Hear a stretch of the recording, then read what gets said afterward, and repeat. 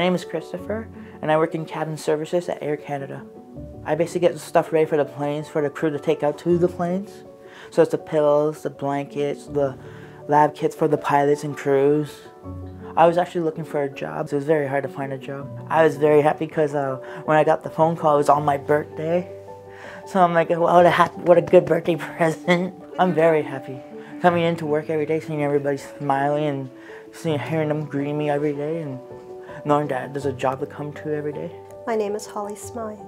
I manage the Cabin Environment Quality Department in Toronto. I initially had some, a, a few worries. Um, I, I worried about how these employees would be treated by my, my employees. Like worrying about anyone picking on each other or bullying or it turned out to be a non-issue, a complete non-issue. The employees were extremely welcoming and, and pulled these two in with open arms. Chris has been a delight from day one. Chris, uh, from day one, came with most brilliant smile on his face, and it hasn't left his face the entire time he's, I've known him working here. He's been a joy to work with both Chris and Julian, when I ask them to do something, I show them how I would like something done. The team will show them how they want something done. They do it exactly how it's meant to be done, and they do it happily with so much pride. And the Ready, Willing, and Able program has been um, a wonderful program. I would definitely, without a, a second thought, hire again from the Ready, Willing, and Able program just seeing the happiness, how comfortable both Julian and Christopher are in our, our area. They've joined the team without any difficulties. They've just like they've been here for the entire time.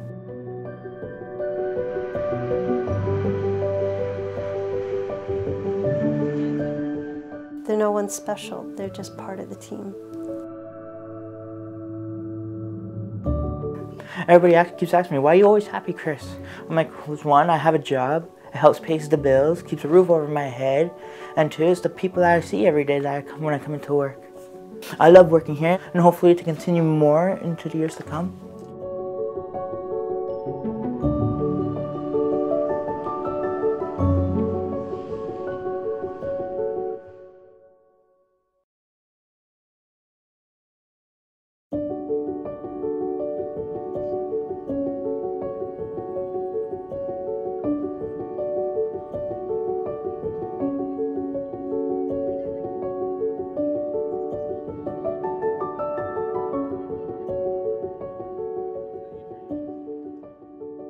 When Marcus was born, which was in 2006, with all the difficulties with the feeding when he was born, like we were in the hospital for five days when he was born, and uh, trying to get him to feed, and then after that he just vomited all the time, and things had gotten really stressful.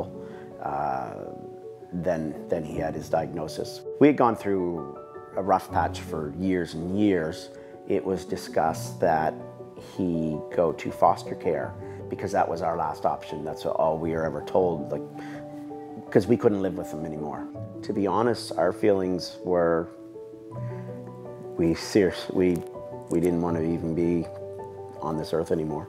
That's how desperate we were, and and for Marcus, if he would have went to foster care, that could have been the end of us. We're a family that wants to stay together and wants to, and we've done everything we can to, we fought for everything and they, uh, and to have to finally, in the end, give up after so many years. He was at this, uh, at the unit and we were approached by uh, a family member um, and then they mentioned that, oh, we have this retreat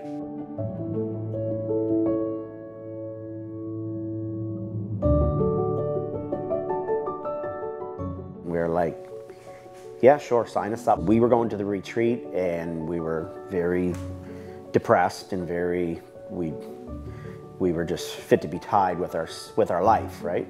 Knowing that Marcus was gonna have to go away. We were going to the retreat, but we didn't want to. We just, we didn't even want to see people, really. We ended up going there and, uh, and that changed our life, like a great deal. Because when we went there and we met other people that, that understood us and had been in similar situations, and we learned learned that there was this whole other whole other way of living and not have to do the foster care. And we learned all about having in-home supports. By the end of the weekend, we had come up with a plan of how to keep Marcus home. Without Canadian Association for Community Living, we probably wouldn't even be here. My name is Marcus Saunier. I live in Grand Bay, Westfield, which is where we are now. I am in grade five, going on grade six in not that long. Tomorrow, I love you. Tomorrow, you're always a day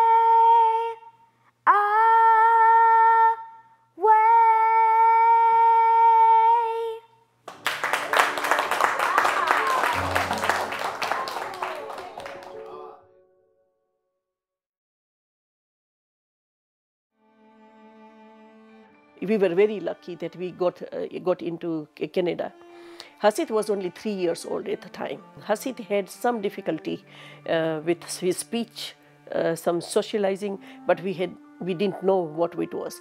So then we decided to find the placement to get a proper uh, treatment for him. The funding started getting lower and lower instead of higher. Hasit required two to one staffing, instead it went to one to one staffing, and so Hasit was losing the consistency that he required, lack of the funding and the support. Then, you know, like uh, we decided that uh, we, we rather find a lawyer and go to the court. I could, or we could only afford one lawyer, and we had six lawyers in front of us. And then they, they said that, uh, Your Honor, if the f- family is not be given the adequate funding that they require for to take care of their son, why don't you give us the guardianship to us? That was a shocking, shocking, shocking thing that we ever heard because we were dedicated parents. We have to spend our most of the life, you know, like just taking care of him and giving him such a best care we possible. And suddenly our, our uh, our guardianship was taken away for no reasons. It was the adequate funding that we had required. Our son was also suddenly taken away out of our home into the place, a psychiatric hospital that where he did not belong. He was left in a small little room, confined, secluded, no access to the toilet, no access to the washroom, nothing. In a plastic mattress on the floor.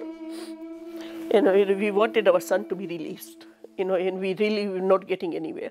We tried everything. So we contacted CACL.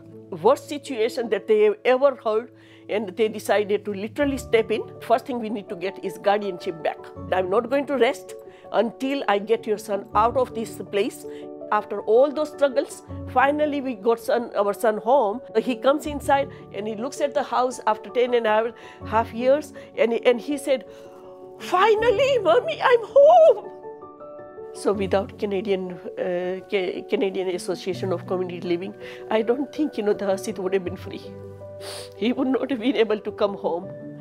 And then after you know Hasit started traveling, and then we went to Panama cruise, you know, in Caribbean, and then we went to every hotel, every restaurants, every concerts, every movie theaters, every doctor's office visits.